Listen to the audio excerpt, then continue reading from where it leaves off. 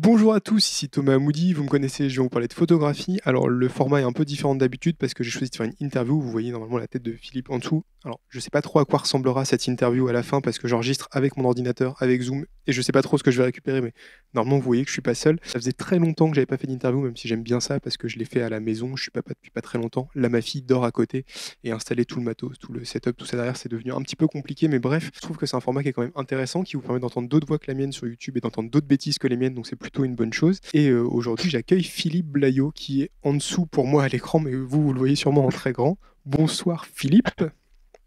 Salut Thomas, bah écoute, euh, ravi de raconter plein de bêtises avec toi ce soir. Juste alors, les lecteurs du blog le connaissent peut-être et les abonnés de Laurent le connaissent peut-être parce que j'avais parlé de son livre qui, sur la photographie de rue il y a quelques années quand il était sorti chez Compétences Photo de mémoire, la collection, si je dis pas de bêtises. Et euh, il a fait une formation sur la photographie de rue avec Laurent euh, bah, l'année dernière en fait, euh, c'est c'est sorti l'année dernière chez Laurent. Voilà, on traîne un peu dans les mêmes, dans les, dans les mêmes cercles, on aime tous les deux très fort Jean-Christophe Béchet qui a fait aussi la préface de son livre. Et c'est de ça dont on va Ouais. parler ce soir, on vous mettra plein de jolies images à l'écran parce que là, vous les montrez en direct, c'est un peu compliqué, mais, euh, mais on va y arriver. Et du coup, je te propose de rentrer dans le vif du sujet. Philippe, est-ce que tu pourrais te présenter en disant que ce que j'ai pas déjà dit et en mieux? Le défi. C'est Euh, ça. Oui, bah écoute, euh, je vais commencer par ce que tu as dit. Je m'appelle Philippe Blaillot, parce qu'on commence toujours comme ça en fait. hein. Je suis photographe, euh, mais pas que. En fait, Euh, photographe, c'est euh, une passion, c'est euh, pas un métier, c'est presque un deuxième métier euh, pour moi, je dirais. Ça me prend du temps et tant ça empiète sur ma vie, euh, euh, sur ma vie personnelle, ma vie familiale, etc. Donc, euh, moi, je suis plutôt un photographe, on va dire, euh, de, de l'urbain, Ah, en ayant commencé spécifiquement sur la photo de rue. En fait, je faisais que ça, que ça, que ça pendant des, pendant des années. Et puis, ces dernières années, allez, on va dire 4 ans, 5 ans, euh, je me suis, euh, j'ai lentement dérivé vers une photo euh, un peu plus évocatrice, moins directe, plus contemplative peut-être aussi, donc un petit peu plus de paysage urbain, un petit peu plus de paysage aussi. puis bah, j'ai diversifié un petit peu les centres d'intérêt en, en, photo, mais toujours dans un univers qui me ressemble, hein, celui qui, celui que je vois tous les jours. Moi, je suis banlieusard, donc j'habite près de près de Paris, je vais à Paris quasiment tous les jours.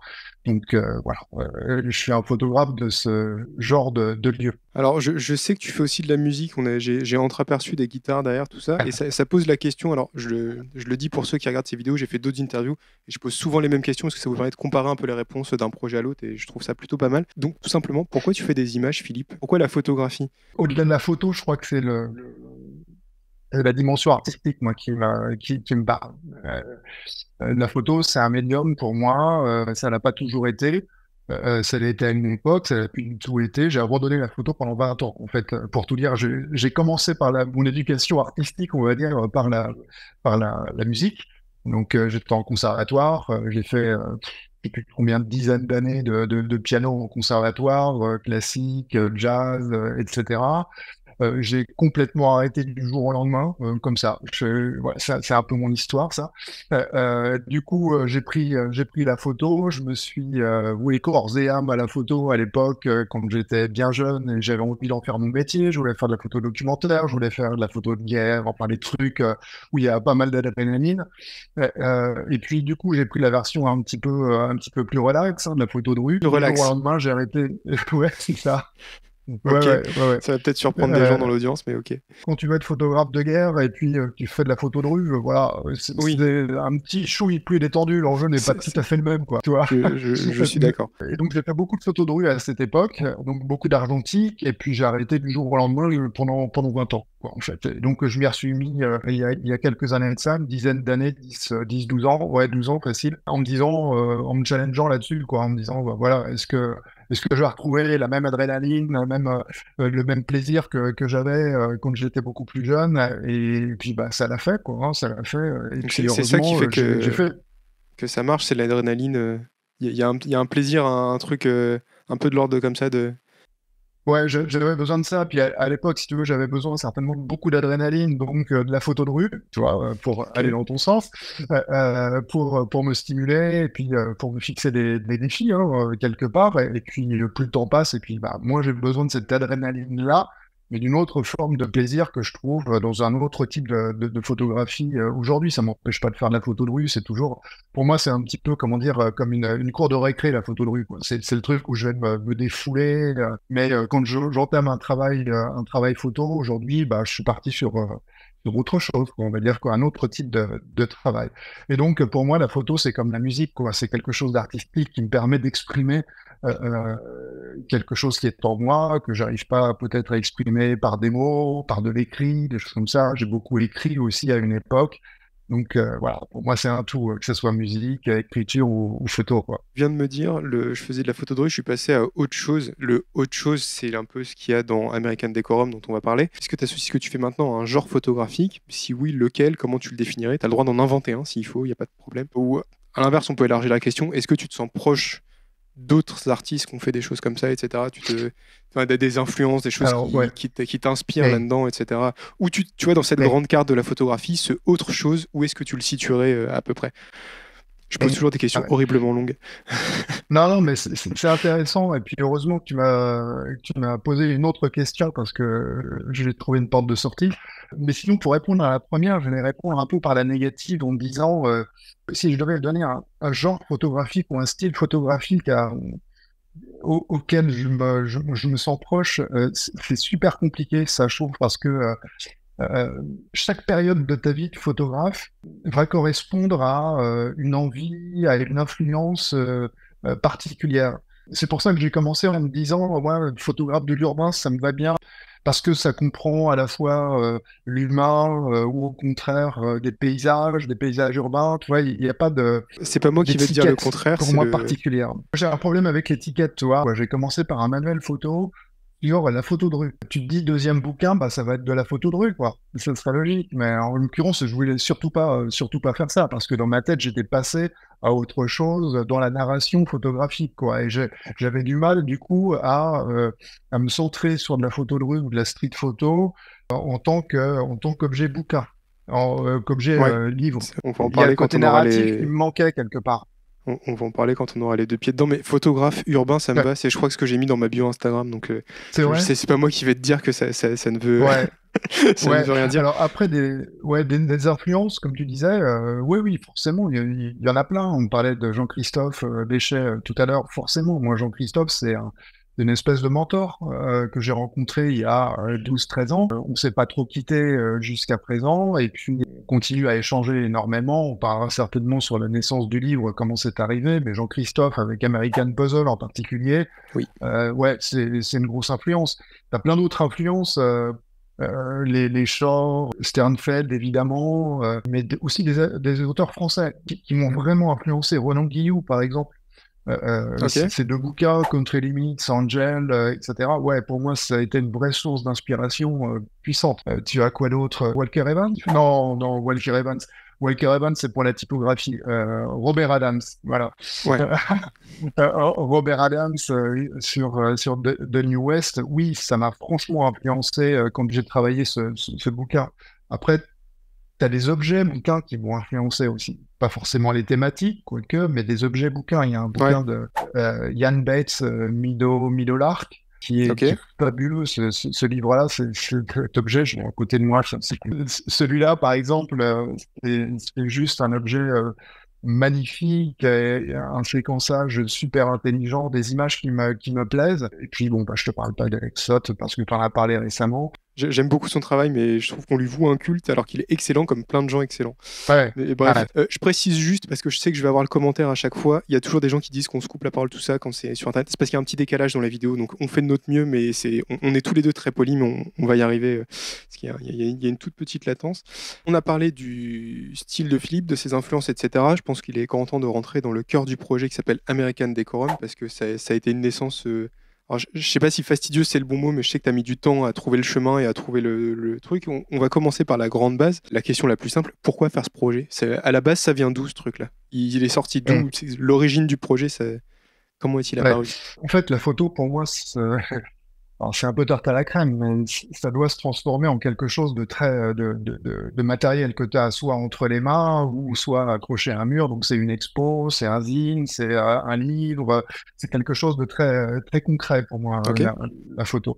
Donc j'ai fait un certain nombre d'expositions jusqu'à présent, c'était c'était super, mais l'expo euh, c'est bien sur le moment et après ça devient juste une ligne sur ton CV quoi quelque part et puis t'en gardes un bon souvenir et puis puis voilà. Donc euh, à un moment donné euh, tu, tu essayes de voir ce qui va rester un petit peu plus dans le temps et euh, c'est le livre je pense en tant que en tant que photographe qui est un peu pour moi la meilleure façon de présenter ton, ton travail. En même temps vu le temps que prend sa conception etc tu as tout, le temps d'investir au maximum euh, la narration que tu veux mettre en place, euh, comment tu, euh, quelle forme tu lui donnes, etc. Donc tu travailles le fond et la forme en même temps, c'est super complet, je trouve. Et puis tu as quand même la, maîtrise, la maîtrise du récit que tu veux, tu veux présenter, ce qui n'est pas forcément le cas sur un mur ou sur 10 mètres carrés ou sur 5 mètres carrés de linéaire. Quoi. Tu, ne peux pas développer ton propos comme tu veux, quoi. Je, trouve. Donc le livre, ouais, c'est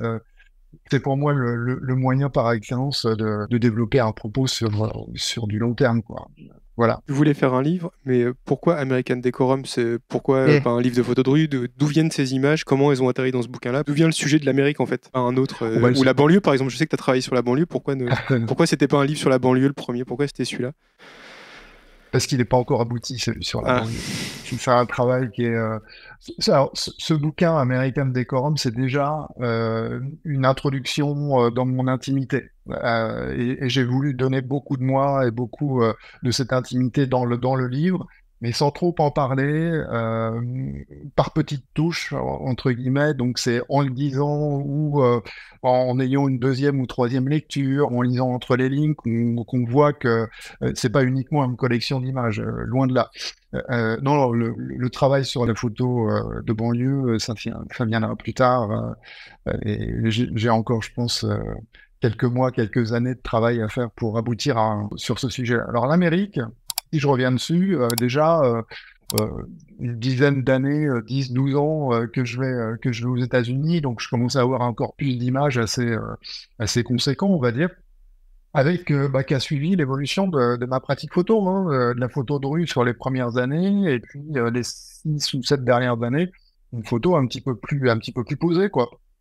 Plus du paysage, euh, euh, des impressions, euh, plus de l'évocation de, de, de, certaines choses que des images super démonstratives avec un effet waouh ou pas d'ailleurs mmh dans la, la, photo de rue.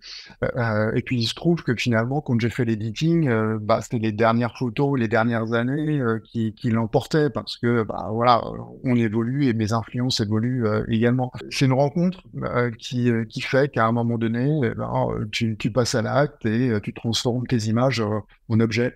Et là, en l'occurrence, en livre. Et cette rencontre, ça a été Jean-Christophe, comme par hasard. C'est ça qui a fait que tu t'es dit que c'était fini, que c'était le moment, parce que tu aurais pu photographier. Tu dis que ça fait 12 ans que tu le fais, mais tu aurais pu le faire encore 12 ans avant de faire un livre. Donc c'est la rencontre avec Jean-Christophe qui, a fait la, qui a fait la bascule.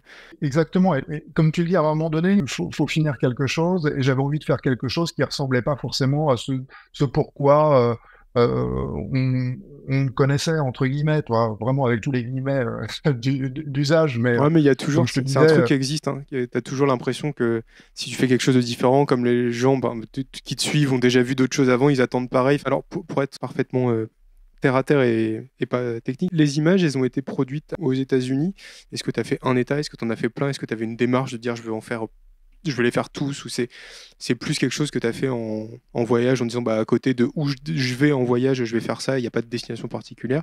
Tu les as prises avec quoi et pourquoi? Est-ce que ça a une influence? Est-ce que, que, je sais qu'il y a des gens qui ont travaillé avec certains objets qui, qui, ont un sens par rapport à leur tu vois à leur pratique et se dire ok c'est ça me ralentit ça m'accélère j'aime bien j'aime pas tout ça.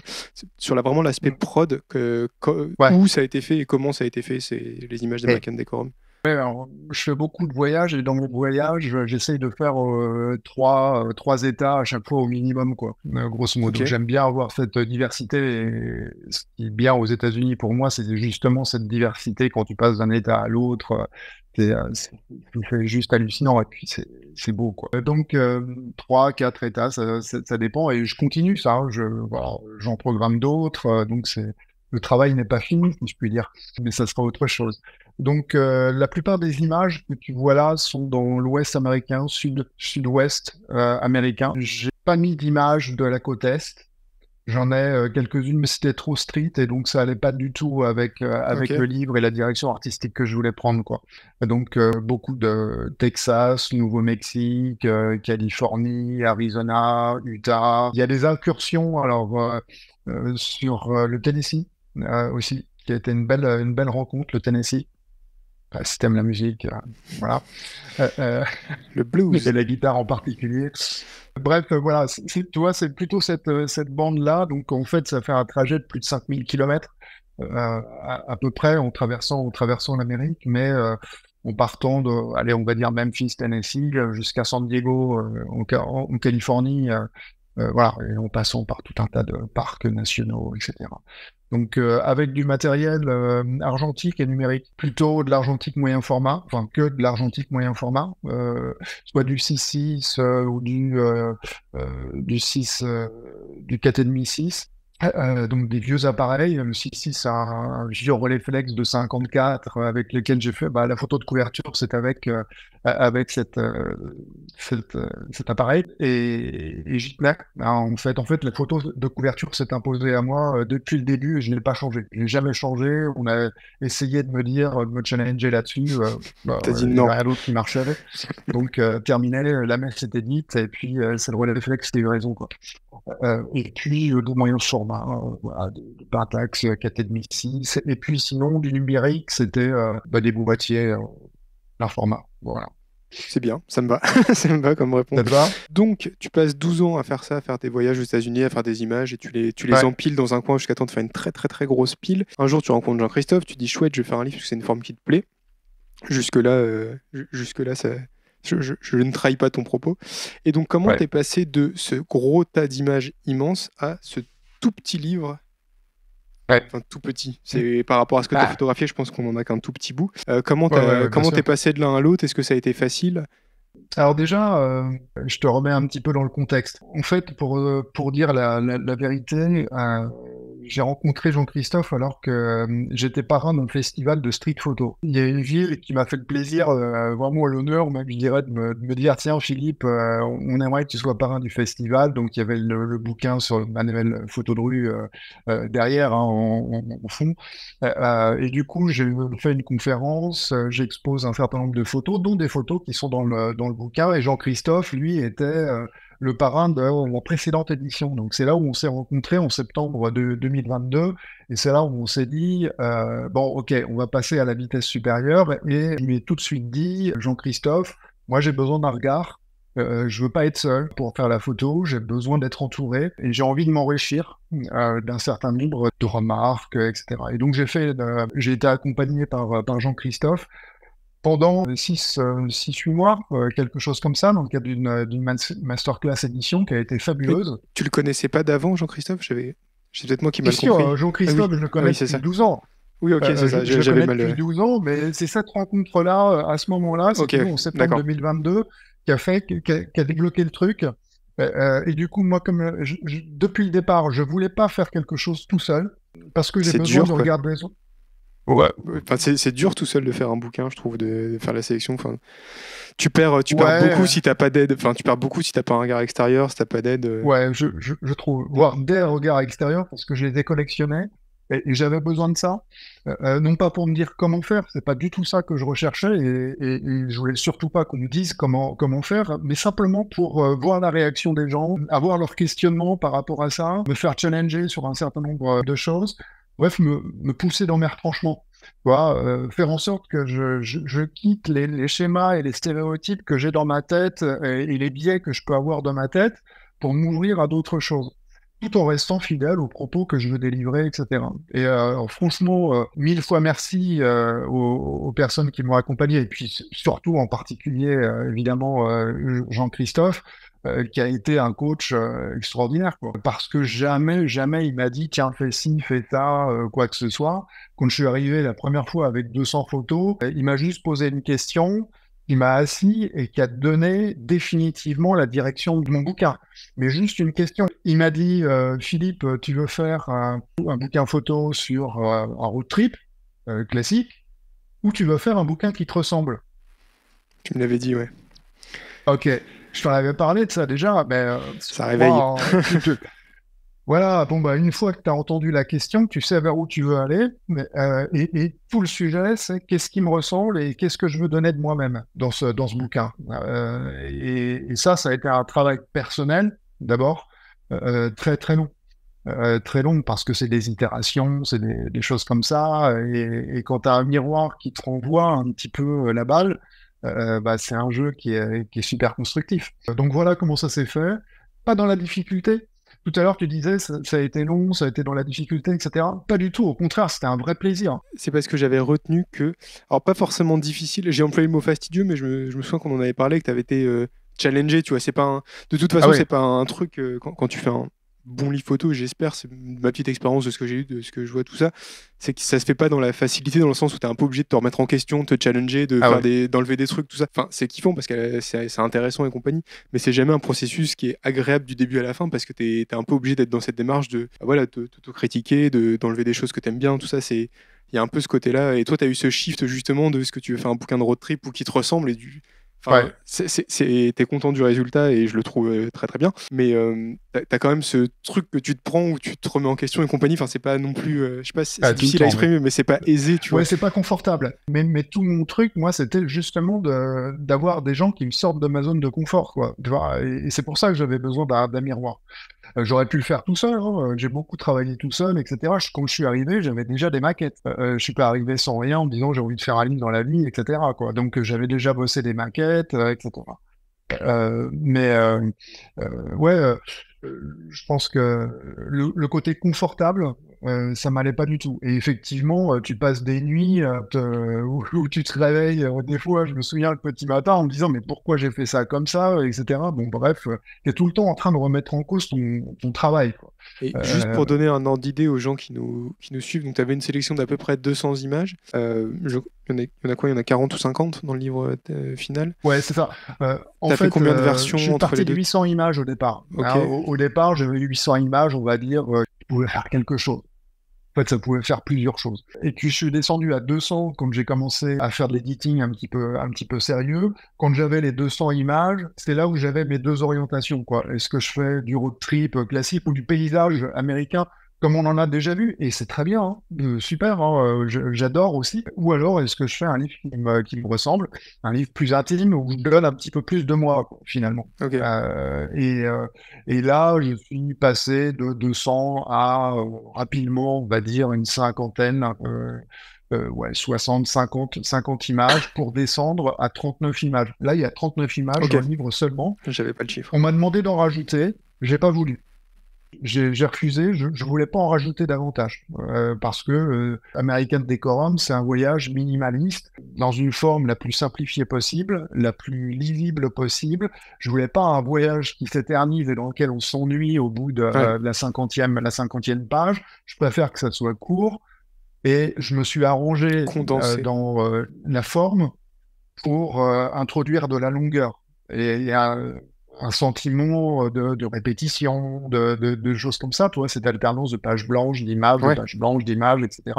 qui s'éternise pour, presque tout le, tout le film, bah, c'est ça la longueur de ton voyage. C'est le côté répétitif des choses, un petit peu lancinant du paysage que tu, que tu traverses et des flashs que tu peux avoir euh, avec euh, les images que je propose. Alors, c'est une question que je vais te poser qui est plus euh, à destination des, des gens qui n'ont jamais fait d'édition, par exemple, qui commencent à créer des corpus d'images, qui se posent un peu la question. Tu es passé de 800 à 200 à 50 puis à 39. Est-ce que tu as des critères de sélection un petit peu tangibles? Parce que je me doute que tu n'as pas fait un best-of, tu t'es pas dit je prends que les meilleurs du top et tu me prends que les 5 étoiles sur Lightroom, mais ça fait un livre, ce serait trop simple. Il y a forcément, alors que tu les aies formalisés dans ta tête ou pas, ou que tu les aies conscientisés ou pas, est-ce qu'il y avait des critères ou des choses que tu disais ouais, ça c'est du American Decorum, il n'y a aucun doute, ça ça n'en est pas, il n'y a aucun doute? Comment tu, Enfin, quelle boussole t'as là-dedans en fait pour faire ce tri C'était quoi la tienne? Dès que la direction artistique du livre a été donnée, ça a clarifié tout.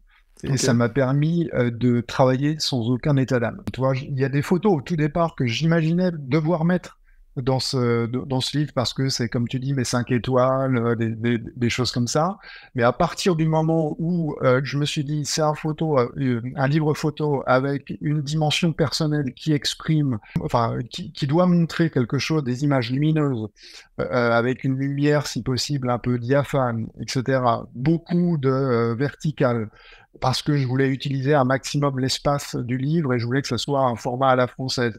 Il fallait qu'il y ait des notions euh, inconsciemment ou consciemment de temporalité, de euh, transformation, de déclin, euh, de d'univers un peu post-apocalyptique, etc. J'avais un certain nombre de, de, critères et surtout, surtout, il fallait que l'image soit simple, lisible au premier regard, mais toujours avec un sous-entendu possible dans, dans l'image. Donc euh, travailler le fond et la forme, le hors-champ en même temps que ce que tu vois, euh, ce que tu vois à l'image. Voilà, ça c'était mon cahier des charges, grosso modo. Donc euh, voilà, il fallait que les images évoquent des choses plutôt qu'elles ne les montrent ou qu'elles démontrent quelque chose. C'est super clair en fait, tu avais vraiment ta limite sorti ah un mode d'emploi de comment trouver une image American Decorum dans un corpus. ah oui, c'est chouette, ah c'était super clair dans ta tête, c'est utile, c'est utile pour l'audience ce genre de truc, j'aime bien. Donc Philippe, tu nous as expliqué les critères que tu avais pour sélectionner des images, tout ça quand tu te, quand avais des moments de doute, etc., quand, quand tu arrivais à des moments où tu te sentais un peu submergé ou, ou perdu dans ce que tu faisais, est-ce qu'il y a des, est-ce qu'il y a des, des, questions que tu te ah posais, des façons de recadrer un peu ton travail, de retrouver la direction euh, Comment tu, tu levais les doutes que tu as pu avoir pendant cette, pendant cette phase de tri, de sélection, tout ça? Est-ce que ça a été toujours, par exemple, en utilisant ton, ton miroir, comme tu le disais? Euh, Si tu veux, euh, je, rencontrais Jean-Christophe régulièrement, mais sur toute cette période, je l'ai vu trois fois. On a travaillé ensemble trois, trois week-ends dessus. Donc, euh, entre-temps, euh, bah, je crois que la meilleure façon, c'est d'arrêter, hein, en fait. Donc, euh, t'arrêtes. moi, j'ai d'autres sources de d'inspiration, etc. Et donc, je, me retrouve dans d'autres choses comme la musique, hein, par exemple. ça me faisait beaucoup, beaucoup de bien, toi, d'aérer un petit peu l'esprit, de, de, de, baisser la température sur mais pourquoi telle photo à ce moment-là euh, Pourquoi je la mettrais pas euh, sur une autre séquence ou quoi que ce soit Et pourquoi je mettrais Le pire, c'était pourquoi je rajouterais pas une image. Pour moi, c'était c'était horrible parce que. Parce y en a 800. Euh, ben ouais, mais j'avais l'impression de trahir mon propos quelque part. Tu vois, à un moment donné. mon éditeur que j'adore hein, m'a dit tiens tu pourrais pas mettre trois deux trois images en plus trois quatre pour arriver je sais pas au chiffre de 40 45 allez on va dire 45 45 images je me suis forcé, mais franchement, puis à un moment donné, tu dis, ça sert à quoi que je me force? C'est euh, c'est pas du tout ce que je veux faire. Donc, euh, euh tu écoutes un petit peu de musique, euh, tu dégonfles, tu te dis, ok, bon, je reprends les rênes du truc, c'est comme ça que je veux le faire, et merci pour le conseil, mais là, non, pas celui-là. donc, que ce soit Dominique Gessler, mon éditeur, ou d'autres ou d'autres personnes, elles n'ont pas réussi hein, euh, à me convaincre de, rajouter des trucs. Et retirer des choses, au contraire, pour moi, ça n'a absolument pas été un problème à partir du moment où j'étais déterminé sur l'objectif. L'objectif qui était le livre tel que je, je l'imaginais et ce que je voulais mettre euh, absolument dedans. Justement, ça me permet de, je, m'accroche au truc que tu viens de dire euh, un peu abruptement. Tu me parlais du livre tel que tu l'imaginais, le livre que j'ai ici, qui J'aimerais bien que tu me parles un peu de la forme en fait physique de l'objet parce qu'on en parlait comme d'un truc un peu théorique de collection d'images qu'on voulait. Mais euh, c'est un livre qui a une euh, voilà, qui a une image qui est imprimée sur la couverture. Le titre est derrière en plusieurs parties. Le texte est à la fin, donc on commence le livre. comme, de toute façon, vous l'a montré un petit peu à l'écran au, fur et à mesure de cette interview, mais on commence le livre par les images, le texte à la fin. Euh, la conception de l'objet physique en soi, tu, tu, viens de dire comment je l'imaginais, bah justement, euh, explique-nous un peu comment tu l'imaginais, les choix que tu as pris, ce que tu n'as pas pu faire, etc., pour arriver à cet objet physique-là euh, directement. je, je, te montrer même à quel point c'était assez précis depuis le départ dans mon, dans, dans mon esprit. Vas-y. J'ai fait 30 maquettes de ce bouquin pour arriver à la forme finale. J'en ai fait 30. J'en ai imprimé quelques-unes. Une des toutes premières maquettes que j'ai imprimées, c'est, euh, alors je te montre euh, pour te dire. Donc là, comme tu l'as montré, c'est le livre tel qu'il est produit. Ok. Et ma toute première maquette qui date, euh, on, va dire, de décembre 2022, c'est ça. Ah oui, donc tu étais vraiment déter, quoi. ouais, ouais, ouais. Là, franchement, dès le départ, euh, j'avais, euh, j'avais cette forme-là. J'aimais le côté 2025 euh, parce que c'est un format qui est, qui est facile à prendre en main, qui, est, euh, qui, est, pratique. Honnêtement, je, je trouve. Je, je, savais que je voulais pas faire un gros bouquin dès, dès, le départ parce que je voulais pas lasser. moi, je me lasse assez vite hein, des, des, bouquins qui ont plus d'un certain nombre de pages et, et, et d'images. Et puis, voilà, mon bouquin, c'est un peu comme une nouvelle, enfin une grosse nouvelle quand même, ou un petit roman entre guillemets que l'on va que, va lire. Donc sur cette forme-là, 20-25, pour moi, c'était c'était assez euh, assez clair dès le départ. La couverture, c'était super clair dès le départ. Après, euh, sur la conception, voir 25, pourquoi? Il y a plein d'anecdotes hein, dans la conception du bouquin. Il y a plein de sens cachés et tout ce que tu veux de Vas-y, c'est le moment. Donc, euh, tu sais, quand tu fais un livre photo, tu es un petit peu obsessionnel. Donc euh, euh, tu, tu, tu, vas mettre euh, plein de plein de références dedans que personne ne verra que toi. Hein. De, de, toute façon, c'est un peu comme les associations entre les images. Tu passes un temps fou à le faire et puis personne, tout le monde passe à côté. mais c'est pas grave, ça fait partie du, du, du plaisir. Donc, 25 parce que c'est un format qui correspond à un format de chambre euh, et celle qui était employée par euh, les photographes, ce qu'on appelle le photographe des frontières aux États-Unis. Donc, c'est ceux qui ont participé à la conquête de l'Ouest et qui euh, partaient à l'Ouest, faisaient leurs photos et rapatriaient les plaques derrière pour montrer aux gens qui étaient restés à l'Est comment c'était le nouveau monde qui était qui était l'Ouest ouest américain. Donc il y a une petite référence à ça que je trouvais sympathique. Et puis ensuite, sur l'objet, je voulais un objet qui, euh, avec lequel on me sente bien au toucher euh, aussi. Donc, il me fallait du tissu sur la couverture. J'ai été un petit peu traumatisé par le bouquin, je crois que c'est son book d'Alexot, où quand je l'ai touché, tu sais, il est un petit peu matelassé. Ah oui. Mais c'est le seul que je connais, en fait, qui est comme ça, qui me fait un effet à chaque fois que je le prends parce que je le trouve confortable. J'ai l'impression que il y a un plaisir physique à, toucher le bouquin. Il y a aussi le bouquin de Rachel Boileau que je trouve super, qui s'appelle euh, Moonshine, celui-là. Euh, il a une couverture et un tissu, mais euh, là aussi, il est somptueux. Tu as l'impression de toucher une, un, truc vraiment très sensuel. voilà. Et donc, je voulais un tissu qui est aussi, lui, un, un toucher pas très rugueux. Vois, tu as, beaucoup de livres photos avec un tissu un petit peu rugueux. Celui-là, bah, quand tu touches la couverture, la quatrième de courbe, voilà, tu sens que c'est un petit peu plus travaillé. Donc, euh, je voulais cette sensation-là déjà. Je voulais une image quasiment plein format. Alors, normalement, c'est une image carrée, hein, euh, image de couverture, puisque c'est le 6 euh, Lauren Flex. Mais, mais ça m'allait bien le fait de découper parce que je suis pas quelqu'un qui est très, comment dire, extrémiste dans la façon de, ou de présenter les images ou de cadrer ou quoi que ce soit, la règle des tiers euh, ou des, choses comme ça, je m'en fous complètement. Euh, le fait de cropper une image ou de euh, cadrer différemment une image carrée pour se centrer sur, sur autre chose, c'est pas grave. Moi, ce qui est important, c'est que l'image serve le propos et qu'elle soit efficace. En l'occurrence, pour une image de couve, il faut qu'elle soit efficace. Euh, c'est la seule chose qu'on lui demande, qu'elle te laisse euh, euh, espérer quelque chose du, livre, donc qu'elle suscite une certaine curiosité, mais aussi qu'elle soit efficace, parce que comme j'étais avec un éditeur, bah, ça part en librairie. Et, en librairie, il faut vendre. Hein.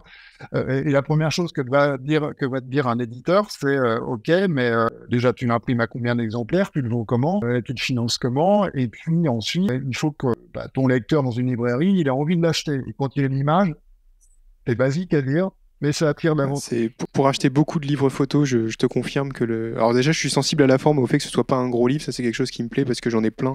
C'est vrai que les gros bazars, tu sais jamais où les lire, tu sais, tu les mets sur les genoux, tout ça, tu les poses. sur un bureau, c'est toujours chiant à manipuler. Je suis assez sensible à la forme. Et en effet, les images sur les couvertures. Alors après, c'est faut, faut pas le faire tout le temps parce qu'il y a des couvertures qui n'ont pas d'image. Songbook d'Alexot dont on parlait n'en a pas et pourtant il est très bien. mais c'est vrai que quand on a beaucoup, tu dis allez vas-y, euh, j'ai envie de m'en prendre un c'est quand même chiant. En plus, ça arrive des fois, ça me, ça me l'a fait à la Comète, c'est la librairie à Paris où ils ont euh, beaucoup, beaucoup de livres photos. Il y en a beaucoup qui sont sous blister parce qu'ils sont un peu rares, où t'as pas d'image et en fait, bah, tu vas pas leur demander de tous les ouvrir un par un pour voir ce que c'est. Eh tu, tu sais pas trop si t'es tenté ou pas, donc c'est vrai que c'est. C'est mercant, enfin c'est mercantile sans que ce soit grave. De toute façon, ces, ces bouquins, on les fait pour les vendre, donc c'est bien bah, que ce soit comme ça. Mais euh, je, je, confirme que ça, ça a son effet et son impact, et c'est plutôt une bonne chose. Et ça, ça me permet aussi d'inciter les, les lecteurs à toucher les livres photos avant de les acheter. Si vous ne savez pas comment vous décidez, prenez celui qui a le tissu le plus doux. ok. Et puis, euh, en, termes de conception, il y a un truc qui est super important. Pour moi, la quatrième de couve, elle est super importante parce que c'est aussi une référence euh, aux livres photo américains des années, euh, on va dire, des, soit des années 40, tu as les Walker Evans, etc. C'est fortement inspiré. Tu as American Photographs. Ouais, c'est ça, voilà, exactement. Euh, donc l'affiliation directe, hein, euh, effectivement, dans la, dans la typo, euh, dans, dans le design même du, du texte, etc. et puis, c'est des typographies, des grosses typos comme ça que tu vois dans la titraille des, des, des photos aussi des années 60, des années 50, 60, des, des, Américains, y compris de portraitistes comme Aldon ou des, des gens comme ça. Donc, euh, plein de références euh, sous-jacentes, euh, y compris dans les polices qui sont utilisées. Donc, c'est un gros travail hein, sur, la, sur la conception, le design. Et, dans ce cas-là, heureusement, heureusement que j'avais un éditeur aussi qui est à fond dans ce, dans ce trip-là, qui a une culture du livre photo, mais juste phénoménale. Donc, voilà, grosse plus-value là-dessus. Et ce livre, du coup, tu parlais de le vendre, tout ça. Tu as dit trois trucs. Tu as dit comment on le vend, combien d'exemplaires t'en fais et comment on le finance. Euh, comment on le finance, euh, vous le savez, l'audience le sait parce que c'était une campagne de crowdfunding et j'y ai souscrit, je vous l'ai envoyé. Donc normalement, vous avez à peu près la réponse. Comment on le vend, ça a été en librairie pendant le crowdfunding. Et du coup, combien d'exemplaires t'en as fait de ce bouquin? Alors j'en ai fait 500 exemplaires. 500 euh, c'est un bon nombre hein, ouais, c'est le... Euh, pour, pour, un livre photo. Pour moi j'ai euh, l'impression que c'est un peu le standard en... à ce niveau-là d'édition. Enfin, c'est vrai quand tu édites chez Flammarion, forcément eux ou la Martinière ils vont faire des très très gros tirages, mais ou les Allemands font des gros tirages aussi. Mais en France pour un éditeur transphotographique presse comme ça, hein, pas, vraiment un premier livre, un demi premier livre, et c'est à peu près c'est à peu près le standard. Ouais, tout à fait.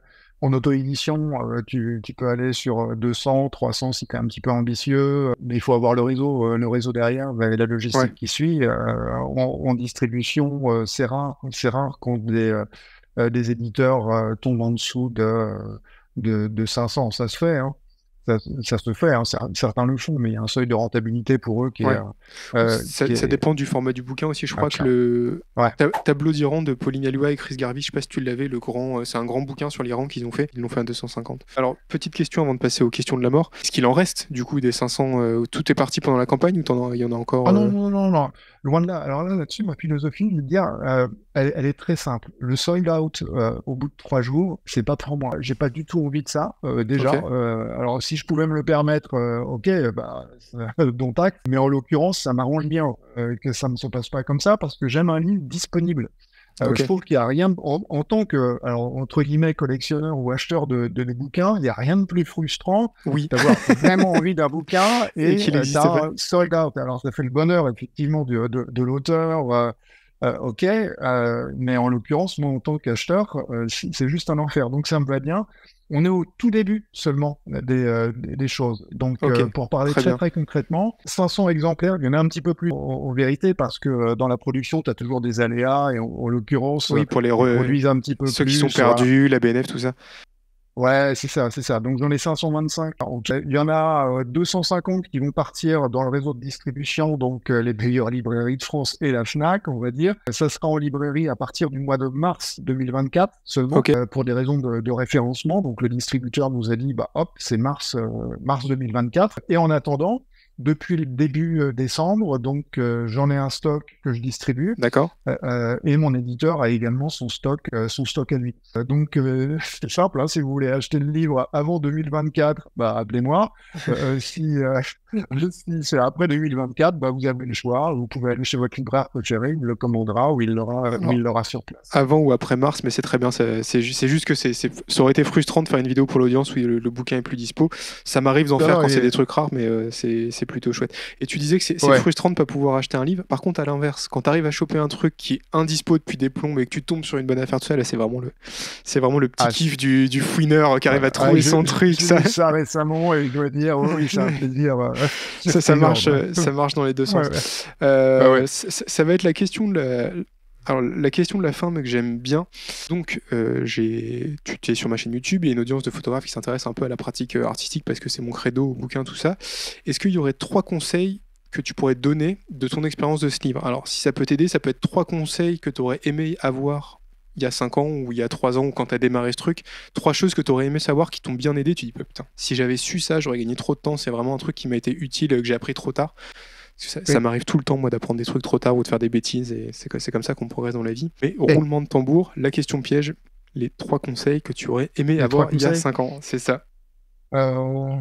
déjà, on m'a donné beaucoup de conseils on m'a préparé euh, quand même au, sujet. Ah, et, j'ai consulté des gens, je suis allé voir, je suis allé me confronter. Euh, voilà. Premier conseil, euh, c'est de travailler l'endurance. C'est un travail de longue haleine, mais vraiment de longue haleine. Je dirais c'est un vrai marathon, c'est même pire qu'un marathon.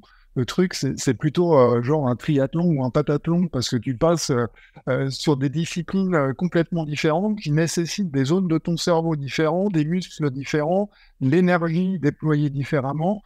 Et en fonction de ta personnalité, bah, tu es plus ou moins à l'aise avec telle ou telle, partie du projet. Quoi. Un livre photo, c'est évidemment les photos, c'est le séquençage, c'est la narration, c'est la conception, la direction artistique hein, dont, je parlais. Après, c'est la fabrication de l'objet. Euh, euh, ensuite, c'est la promo, la com, le marketing de l'objet. Euh, ça va être la rente aussi, le SAV également. Et tout ça, c'est super compliqué à déployer toute, toute, cette énergie pendant autant de temps. Tu vois, moi, c'est plus d'un an de, boulot, ce, ce, livre.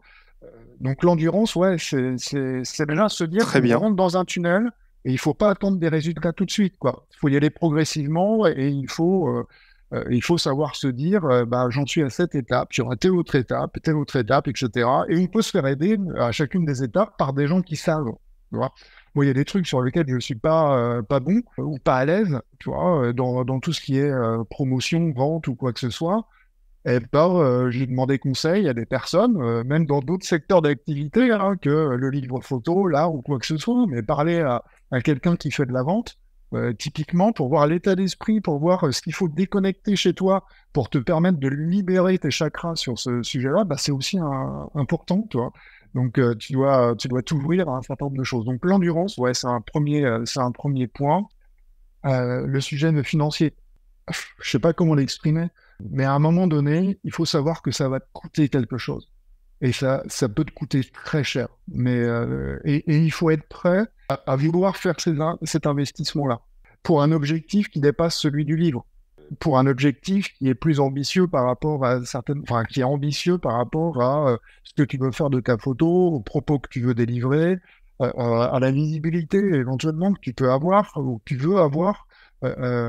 grâce à grâce à ton livre photo, ton livre photo, c'est ça devient ça devient bah, comme ton expo, une carte de visite, euh, ça devient quelque chose qui est tangible sur le travail et le sérieux du travail que tu as voulu, euh, que, tu as fait, euh, que tu as réalisé.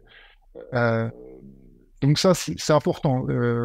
être prêt à faire un certain nombre de, concessions sur des ressources, y, compris alors du temps et des, ressources financières. Ça, c'est sûr. Qu'est-ce que je peux te dire d'autre Ouais, et puis être prêt aussi à faire des concessions. Alors moi, j'ai pas trop ce problème-là parce que je me pose naturellement beaucoup de questions. Euh, et, et, je suis pas du genre à avoir des certitudes euh, sur moi, sur ce que je dois faire ou comment il faut faire les choses ou quoi que ce soit. Et j'aime bien justement ça.